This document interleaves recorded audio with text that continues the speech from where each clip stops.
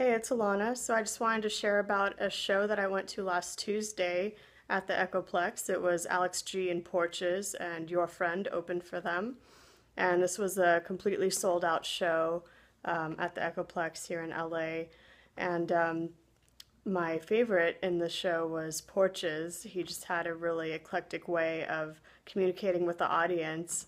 Um, it seemed like he was on some kind of drugs or something but um, it was a lot of fun to just hear how he was communicating with the crowd. He would ask after his sets, um, like what we were thinking about during the songs, and so it was uh, it was just interesting. He seems like an interesting kind of guy.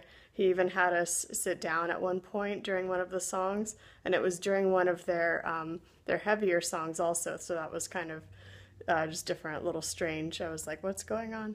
But um, his set was by far my favorite. I just re- I just got into Pool recently, which is their latest album, and it's more electronic than their um, original folky roots. So it was really cool to see them just play a mix of both old and new.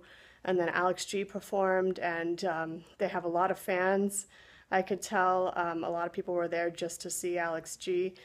And um, his uh, his music is kind of mellow. It's very much. Uh, it reminds me a lot of like Elliott Smith. Um, he definitely draws inspiration from that.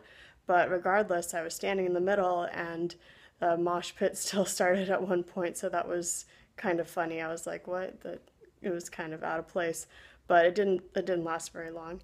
So, um, and they did close the evening with Brite Boy, which was one of my favorite songs that I recently heard from Alex G, and I caught a recording of that. So feel free to take a listen. That's next. Thanks.